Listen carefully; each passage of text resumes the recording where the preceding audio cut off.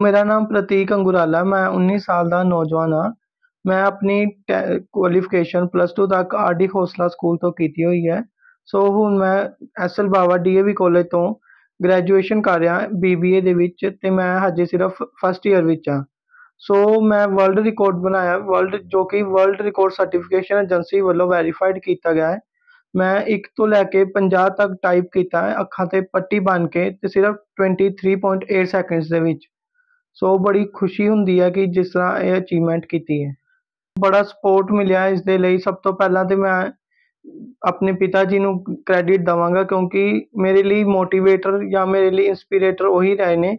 ਸ਼ੁਰੂ ਤੋਂ ਲੈ ਕੇ, ਛੋਟੇ ਹੁੰਦੇ ਤੋਂ ਲੈ ਕੇ ਮੈਂ ਜਦੋਂ ਵੀ ਉਹਨਾਂ ਨਾਲ ਕਿਸੇ ਫੰਕਸ਼ਨ ਤੇ ਜਾਂਦਾ ਸੀ ਤੇ ਲੋਕ ਉਹਨਾਂ ਨੂੰ ਸਨਮਾਨਿਤ ਕਰਦੇ ਸੀ ਤੇ ਮੈਨੂੰ ਵੀ ਹੁੰਦਾ ਸੀ ਕਿ ਕਿਤੇ ਨਾ ਕਿਤੇ ਮੈਂ ਵੀ ਇਸ ਦੇ ਹੱਕਦਾਰ ਬਣਾ।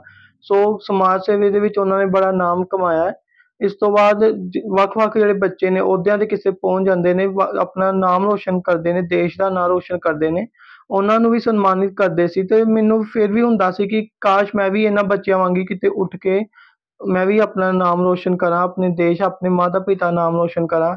ਸੋ ਬੜਾ ਮੋਟੀਵੇਸ਼ਨ ਮਿਲਿਆ ਉਹਨਾਂ ਕੋਲੋਂ ਤੇ ਹੁਣ ਉਹਨਾਂ ਦੀ ਵੀ ਅਸੀਸਾਂ ਮਿਲੀਆਂ ਨੇ ਤੇ ਮੈਂ ਵਰਲਡ ਰਿਕਾਰਡ ਬਣਾਇਆ। ਉਹ ਮੇਰਾ ਇਹ ਹੈ ਕਿ ਹੁਣ ਲਿਮਕਾ ਬੁੱਕ ਆਫ ਰਿਕਾਰਡਸ ਵਿੱਚ ਵੈਰੀਫਿਕੇਸ਼ਨ ਚੱਲਦੀ ਪਈਆਂ ਨੇ।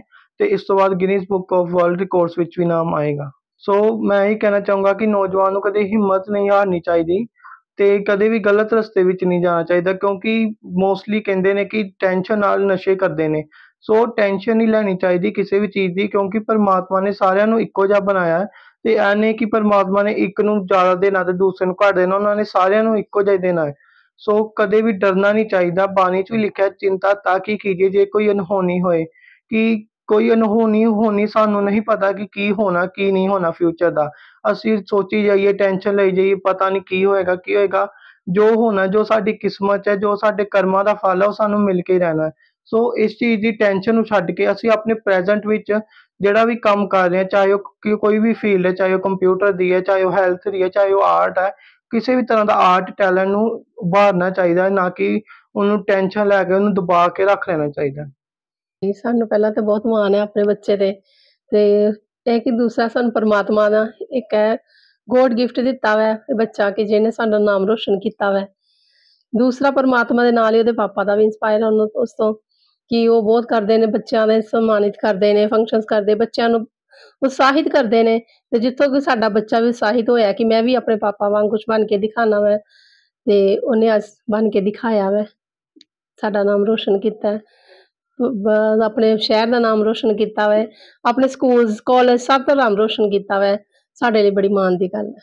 ਮੈਨੂੰ ਅੱਜ ਬਹੁਤ ਖੁਸ਼ੀ ਹੈ ਕਿ ਪ੍ਰਤੀਕ ਅੰਗਰਾਲਾ ਨੇ ਦੁਨੀਆ ਦੀ ਸਭ ਤੋਂ ਵੱਡੀ ਏਜੰਸੀ ਤੋਂ ਸਰਟੀਫਿਕੇਟ ਪ੍ਰਾਪਤ ਕੀਤਾ ਹੈ ਔਰ ਇਸ ਸਰਟੀਫਿਕੇਟ ਪ੍ਰਾਪਤ ਕਰਨ ਦੇ ਨਾਲ ਜਿੱਥੇ ਮੈਨੂੰ ਮਾਣ ਮਹਿਸੂਸ ਹੋ ਰਿਹਾ ਪੂਰੇ ਮਾਣ ਨੂੰ, ਸਾਰੇ ਰਿਸ਼ਤੇਦਾਰਾਂ ਨੂੰ ਔਰ ਉੱਥੇ ਹੀ ਵਧਾਈਆਂ ਦੇਣ ਵਾਲਿਆਂ ਦਾ ਤਾਂਤਾ ਲੱਗ ਗਿਆ। ਅੱਜ ਦੀਆਂ ਜਿਹੜੇ ਨਿਊਜ਼ਪੇਪਰ ਨੇ, ਉਹਨਾਂ ਦੇ ਵਿੱਚ ਸਾਰੇ ਨਿਊਜ਼ਪੇਪਰਾਂ 'ਚ ਬਹੁਤ ਵੱਡੀਆਂ ਵੱਡੀਆਂ ਖਬਰਾਂ ਆਈਆਂ ਨੇ।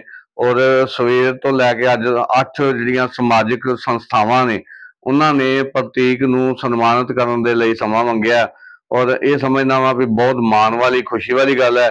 ਇਹ ਪਰਮਾਤਮਾ ਸੱਚੇ ਪਾਤਸ਼ਾਹ ਦੀ ਕਿਰਪਾ ਹੈ ਕਿ ਇਹੋ ਜਿਹੇ ਹੋਣਹਾਰ ਬੱਚੇ ਜਿਹੜੇ ਨੇ, ਉਹ ਸਾਰਿਆਂ ਨੂੰ ਮਿਲਣੇ ਚਾਹੀਦੇ ਨੇ। ਉਹ ਤਾਂ ਹੀ ਸਾਡਾ ਦੇਸ਼ ਤਰੱਕੀ ਕਰ ਸਕਦਾ ਬੱਚਿਆਂ ਨੂੰ ਹਮੇਸ਼ਾ ਮਿਹਨਤ ਕਰਨੀ ਚਾਹੀਦੀ ਹੈ, ਆਪਣੀ ਜਿਹੜੀ ਲਾਈਨ ਹੈ ਵੱਡੀ ਕਰਨੀ ਚਾਹੀਦੀ ਹੈ ਔਰ ਪੋਜ਼ਿਟਿਵ ਸੋਚ ਰੱਖਣੀ ਚਾਹੀਦੀ ਹੈ ਕਿਉਂਕਿ ਬੱਚਿਆਂ ਦਾ ਜਿਹੜਾ ਦਿਮਾਗ ਹੈ ਬੜਾ ਫਰੈਸ਼ ਹੁੰਦਾ ਵਾ, ਉਹ ਜਿਹੜੀ ਜਿੱਧਰ ਚੱਲ ਪੈਣ ਉਧਰ ਹੀ ਉਹਨਾਂ ਦਾ ਦਿਮਾਗ ਲੱਗ ਜਾਂਦਾ ਵਾ ਔਰ ਬੱਚਿਆਂ ਨੂੰ ਚਾਹੀਦਾ ਵੀ ਸਭ ਤੋਂ ਪਹਿਲਾਂ ਆਪਣੇ ਮਾਤਾ-ਪਿਤਾ ਦੀ ਸੇਵਾ ਕਰਨ, ਉਸ ਤੋਂ ਬਾਅਦ ਆਪਣੇ ਦੇਸ਼ ਵੱਲ, ਆਪਣੇ ਪੰਜਾਬ ਵੱਲ ਜਿੱਥੇ ਹੋ ਰਹਿ ਰਹੇ ਨੇ, ਉਹਦੀ ਤਰੱਕੀ ਲਈ ਸੋਚਣ, ਆਪਾਂ ਭਵਿੱਖ ਚੰਗਾ ਬਣਾਉਣ ਤਾਂ ਹੀ ਉਹਨਾਂ ਦਾ ਭਵਿੱਖ ਉਜਵਲ ਹੋ ਸਕਦਾ ਹੈ।